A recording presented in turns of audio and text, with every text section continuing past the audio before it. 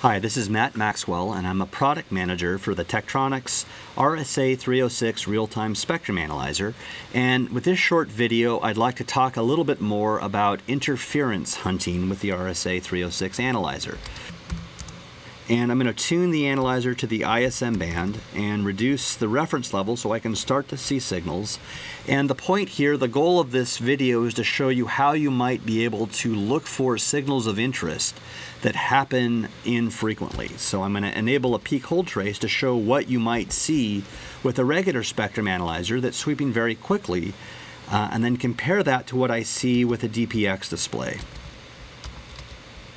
So doing a side-by-side -side comparison here, I'm going to quickly adjust the colors a bit on the DPX display so I can get full use of the color spectrum there. And I see on the upper display DPX, I can um, I have colors that indicate how often signal, signals are happening over time. There's more information about how DPX works in the real-time spectrum analyzer primer available on tek.com. But basically, each pixel represents a histogram where things that happen more frequently get a red color, like on a temperature scale, and things that happen less frequently get a blue or green dot on the temperature scale. So you can kind of get a sense of how signals are occurring over time. And over there you see, uh, as we're getting close to lunchtime on this recording, a microwave oven that's going on on the other side of the building here. It's a little bit far away, so it's not very high signal strength. But I have excellent sensitivity on the analyzer with a minus 160 dBm displayed average noise level to see those kinds of things from quite a distance with a small whip antenna that I have connected to the analyzer.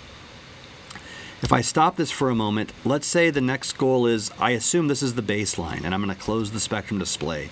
What I'd like to be able to do now is better search for signals of interest. So under tools, I have something called a mask test. So I want to see whenever trace one is outside of a mask and I'm going to edit the limits here and automatically draw the mask with 5 megahertz margin and 5 dB margin around each of those points. So I can control the X and Y margin. Maybe I only want 2 megahertz and see what the mask looks like there, but this gives you a way to quickly draw a mask based on the present signal environment. So that's an automatic one. As you can see here, if I wanted to load a mask, I could do that. I could open one, and if I had it saved offline, I could generate these per a table if I wanted to, and load them in for some quick mask testing.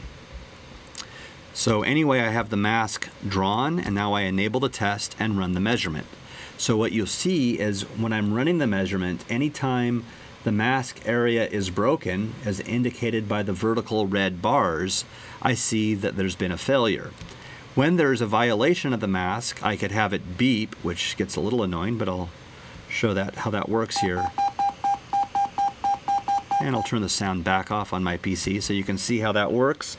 I could stop the measurement whenever there's a violation, or while I'm running, I could save the acquisition data, the underlying IQ data, for up to a second of data anytime there's a violation of that mask.